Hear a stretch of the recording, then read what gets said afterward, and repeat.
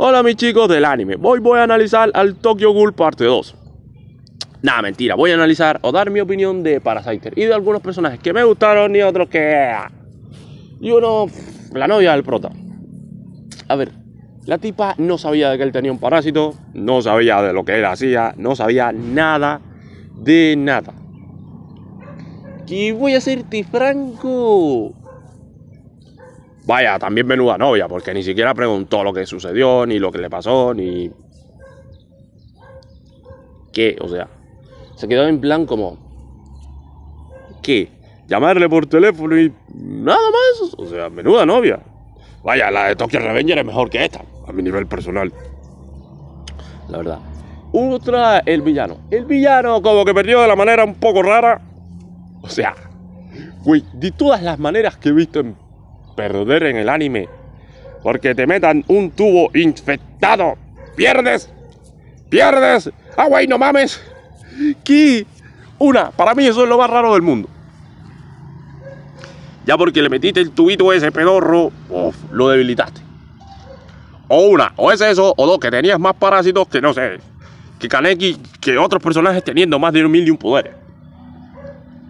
Y lo otro, mataste parásito que estaba muerto, te revivió y te mató. No entendí esa parte tampoco, pero bueno.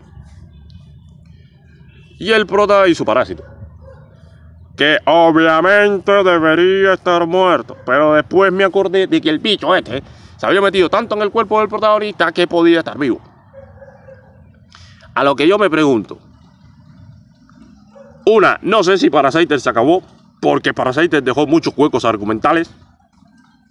Demasiados en primer lugar y dejó muchas cosas incompletas que para mí, para mí, creo que deberían continuar para Saiter. Creo, si no lo hacen, que no lo han hecho porque deberían, porque deben un millón de cosas a los fans, un millón de cosas pendientes a mi gusto personal, como el prota, como la clarividente loca esta que se murió. Que asumo yo de que se murió. Asumo yo de que se murió, supuestamente. Vamos, voy a poner el punto de que se murió.